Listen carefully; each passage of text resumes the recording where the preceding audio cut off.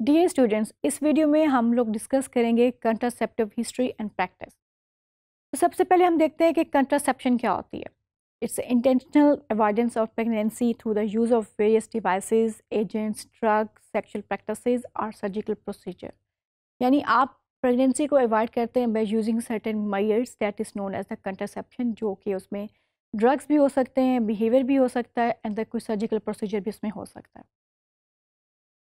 Another name of contraception जो कि use होता है mostly that that is known as a birth control birth control को हम कंट्रासेप्शन भी कहते हैं या contraception is known as a birth control इस मीन के बर्थ को कंट्रोल किया जाता है इसमें। अच्छा अब हम अगर बात करते हैं regarding the history of contraception तो जो हिस्ट्री ऑफ़ कंट्रासेप्शन है एंशियट जीप टाइम से स्टार्ट हो रही है।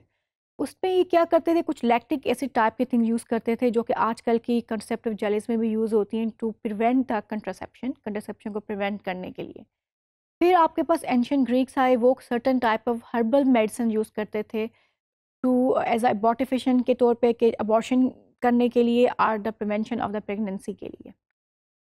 फिर एंशियन ग्रीक्स थे, जो कि अबॉर्शन को एज अ कन्फ्लिक्टेड एटीट्यूड के तौर पे लेते थे, उनको एज अ कन्फ्लिक्टेड थिंग के तौर पे कंसीडर करते थे। फर्दर अगर बात करें ग्रीक्स की तो उनके पास नॉलेज, जो ग्रीक नॉलेज था, उन्होंने उसको पास ऑन किया था रोमेंस को अबाउट दिस कंट्रासेप्शन। अच्छा अब अदर जो एंशंट अगर हम कल्चर्स की बात करते हैं तो they are different contraceptive practice in Muslim world and then Christianity Christians के अंदर उनकी जो प्रैक्टिस थी दैट आर क्वाइट डिफरेंट और जो in comparison with the Christian जो इस्लामिक हिस्ट्री है, उसके अंदर है कि उनके जो कंट्रासेप्टिव मेथड थे इंफॉर्मेशन थी, वो और ज़्यादा वैलिड था या ज़्यादा इन्फॉर्म था प्रोसीजर वो। Early Islamic writing were more accurate than early Christian writing यानी अर्ली क्रिश्चियन राइटिंग से बहुत ज़्यादा एक्यूरेट थे इस्लामिक जो राइटिंग थी इन द एंशियन टाइम में। फर्दर अगर हम इंडियन सब इंडियन कॉन्टीनेंट की बात करते हैं तो वो एज अ रॉक साल को यूज़ किया करते थे टू किल द प्रेगनेंसी या टू किल द स्पर्म के वो ताकि कंसेप्शन ना हो सके। फिर कंट्रासेप्टिव इन मॉडर्न एजेस की बात करते हैं, ये तो अभी हम एंशियट की बात कर रहे थे मॉडर्न में क्या रहा है? By the end of eighteen century European को ये एहसास होना शुरू हो गया कि अगर ये कंट्रासेप्शन को नहीं करेंगे तो पॉपुलेशन जो है ग्रोथ इंक्रीज़ हो जाएगी और अगर पॉपुलेशन ग्रोथ इंक्रीज़ हो जाएगी तो तो पॉवर्टी जो है वो भी बहुत ज़्यादा उसका इंक्रीज़ हो गया। यानी poverty is link with the population growth population growth ज़्यादा होगी तो आपके रिसोर्सेज कम होंगे।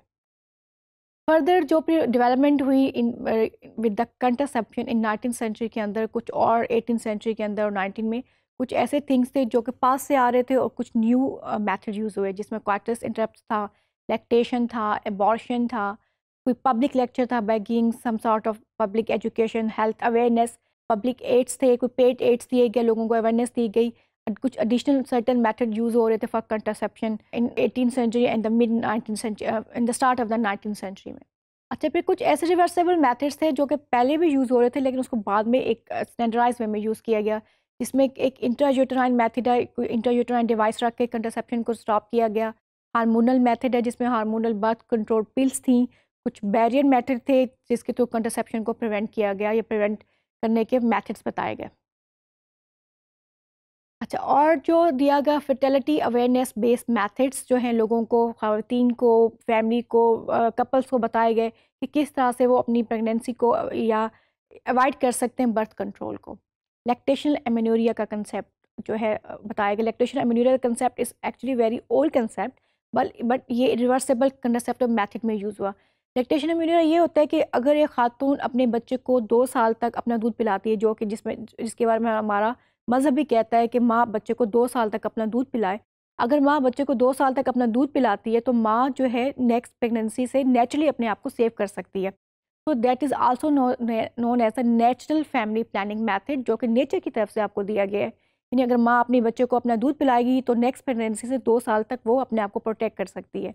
इन दैट केस वो जो बर्थ स्पेसिंग का टाइम पीरियड है, वो इंक्रीज़ हो जाता है। यानी कि एक के बाद दूसरे की जो बर्थ स्पेसिंग है वो दो से तीन साल तक पे चली जाती है। So this this is the natural family planning method आप इस फैमिली प्लानिंग मेथड के ऊपर बहुत ज़्यादा स्ट्रेस दिया जा रहा है बिकॉज़ नेचुरल इसमें आपने कुछ नहीं करना, सिर्फ़ माँ ने बच्चे को दो साल तक अपना दूध पिलाना है। पार्टस इंटरप विड्रॉल का मेथड है जी। उसके बाद कुछ सर्जिकल प्रोसीजर्स है जो कि परमानेंट कंट्रासेप्शन में आ जाते हैं, जिसको हम परमानेंट कह देते हैं, कहते हैं जी। इसके थ्रू परमानेंट जो है वो कंट्रासेप्शन हो जाएगी। उसमें कुछ मेल स्टेलाइजेशन है और कुछ फीमेल है। फीमेल के अंदर ट्यूबल लाइगेशन है और कुछ अदर मेथड्स होते हैं जिसके थ्रू आप एक खातून अपने आप का पर, जो उसका रिप्रोडक्टिव सिस्टम है उसको परमानेंटली इस तरह से कर देती है कि वो दोबारा उसको कंसीव नहीं कर सकती। तो these are the history of the contraception and the no the present method जो हिस्ट्री की कुछ चीज़ें थी वही जो रिवर्स होके कुछ प्रेजेंट uh, मैथड में यूज़ हो रही हैं और अब लोगों को अवेयरनेस आ गई है कंट्रासेप्शन के बारे में और ये कि अगर कंट्रासेप्शन करेंगे तो फैमिली जो पॉपुलेशन ग्रोथ है, वो एक हद तक कंट्रोल रहेगी और पॉपुलेशन ग्रोथ कंट्रोल रहेगी तो आपकी जो कंट्री की इकॉनमी है, वो अप होगी और जो आपके रिसोर्स हैं, वो आप उसके, जो आपकी पॉपुलेशन अगर पॉपुलेशन कम होगी तो इक्वल डिस्ट्रीब्यूट करके अपनी कंट्री को अपलिफ्ट कर सकते हैं। Thank you very much students